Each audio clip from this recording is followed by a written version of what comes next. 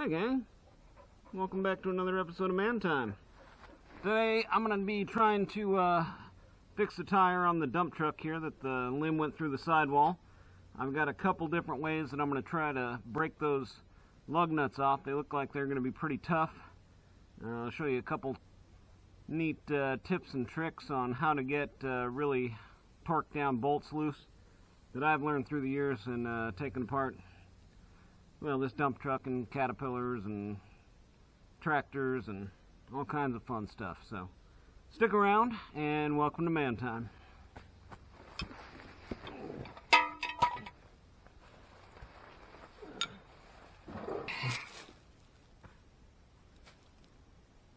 All right, good. That's not an ant pile. Okay, so here is going to be the tools of the trade while we're out here. These these are an inch and a half and I don't have an inch and a half socket. So we're going to determine what's going to be the best tool to take uh, take these lug nuts off with. I'm I'm guessing it's this uh, 20 inch PNC manufactured in USA um, big wrench.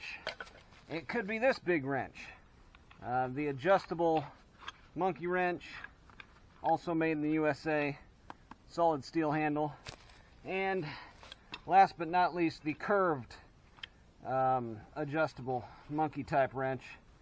All of these are well built, well designed tools from uh, from back in the day when uh, when men used real tools. So let's uh, let's start off with our curved wrench here. These also have some sort of safety lock um, safety lock nut on them. So I'm gonna grab a punch. And of course, I've got my engineer's hammer here for anything that seems like it's going to be a problem. Wow. Yeah, these are really on there. So then there's the final tool in the toolbox, which is a cheater pipe. Now, if you're at work and uh, you see one of the guys at work turning a wrench and, and having a big problem with it, don't just run over and say, here, put a cheater pipe on it, because that'll draw the safety guys from miles away. They'll all just up in arms, hear cheater pipe, and come running out to the shop floor, stopping every sort of uh, activity that's going on. So, use the cheater pipe when you're at the house and you need to put a little extra torque on something. Don't use the cheater pipe at work, because apparently these tools are designed to only have the person using them putting torque on them. Well, that's going to be a problem. Dang it, now I got to put the jack back down. So attempt number one didn't go so well. Uh, I put this on going the correct direction, stepped on it with the cheater pipe and just rounded the edge of this nut completely off. So I don't know if these were put on there by some sort of Superman or what. But they got they're covered in PB Blaster, and uh, I told the guy at the tire shop who had the used tire that I'd come bring the rim in tomorrow with the uh, flat tire on it. So one way or another, these are coming off today. So we'll uh, we'll first try with the hammer to try to break it, and then uh, if that doesn't work, I don't exactly know what we're gonna do. But we'll hold a little bit of tension on there.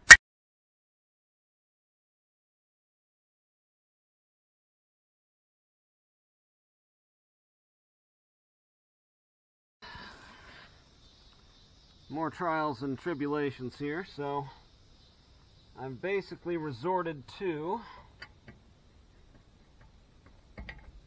getting the biggest wrenches that I could find and seeing if we can't uh, lever our way to freedom here.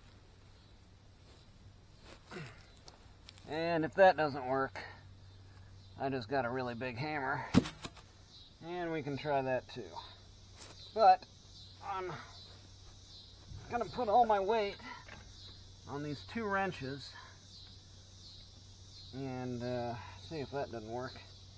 If not, I'll jump up and down on them. This has got to be a ton of torque on there, and it's just not budging.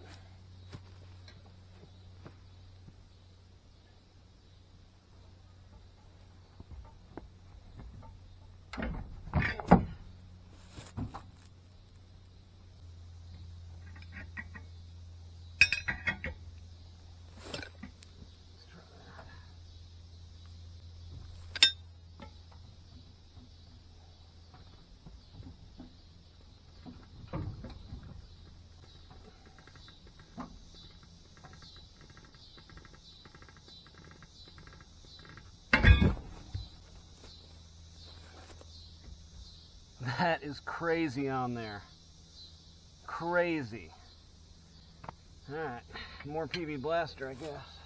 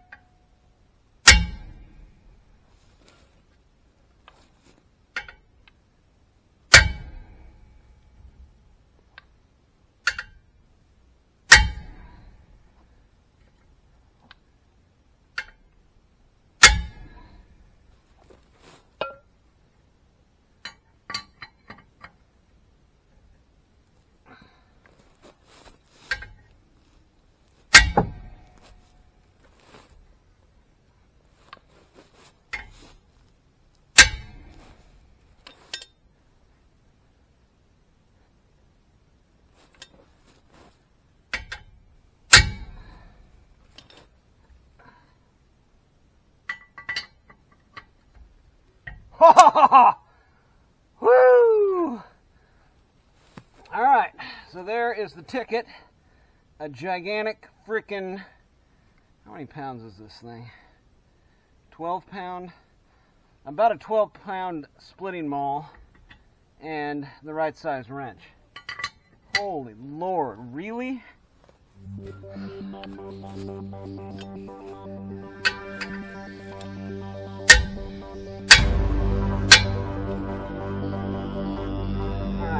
Alright, note to self. Stay out of the threads. The uh, next bolt over.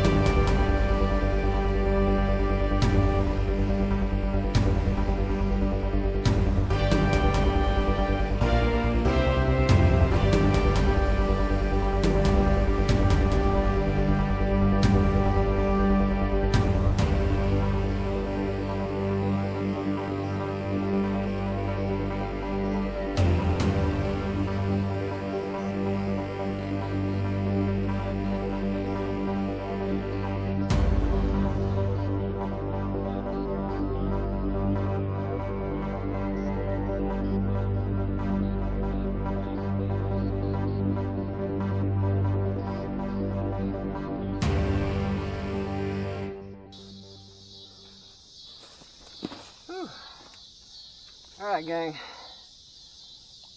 We've got our jack back up and uh, got them all loosened up. Should be able just to uh, ah, a little bit of brawn, get them off of here, get the tire in my car, and get it to the tire shop in the morning. But uh,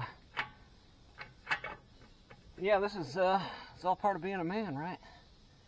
You got to do the hard work. Uh, it's about having skills acquired throughout life and life skills.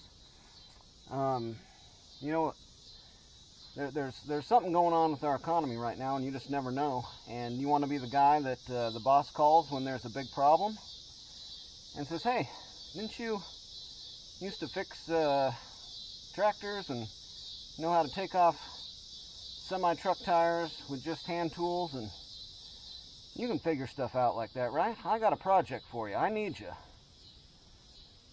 That's a good feeling. So, part of it's doing the work, part of it's acquiring the labor. The other part of it is how to adapt the labor and the knowledge that you learn into your other daily activities, right? Something to think about. Thanks for joining me today on Man Time, guys. Get out there, get dirty, get greasy, turn some wrenches, get sweaty, have fun. See you next time.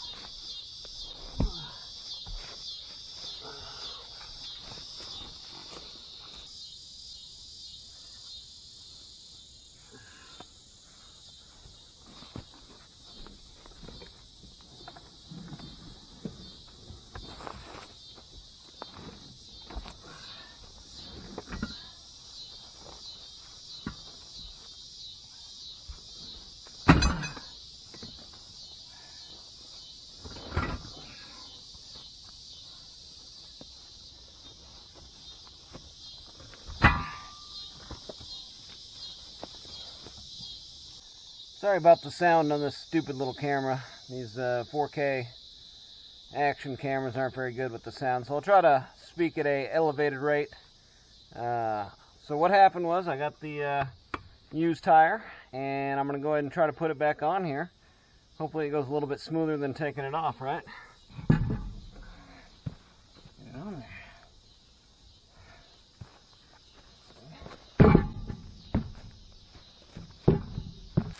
One thing that I grabbed here, just essential to this operation, anti-seize. If there's one application where anti-seize needs to be used, it's right here. Okay, well another one in the books here. Um, there was a lot of fallout from this last weekend, and uh, yeah, I'm going to put another wrench on there, torque all these down. Probably not quite as tight as they were coming off, but uh, anyways, the fallout this weekend was pretty heavy. I had a pop tire, um, actually a, a, fuel line busted on the 555, um, and I jacked with the pop-off pressure, so I'm going to have to redo the pop-off pressure on those, and I'll check those out as long as I've got it down and waiting on the fuel line to come in from Ford. I'll do an oil change and a hydraulic filter change.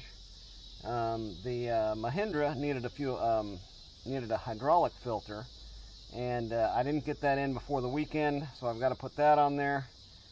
And the John Deere uh, finally the uh, the John Deere fuel pump came back from the uh, place that rebuilds them. So I've got this down which just came back up. I've got the 555 down the Mahindra down and the John Deere down. The entire operation pretty well shut down. Um, so this weekend temperatures in the uh, triple digits stuff's got to get done. Um, temperatures in the triple digits today, yesterday. Um, so, you know, just stuff that men have to do, right? We've got to work hard, got to get it done.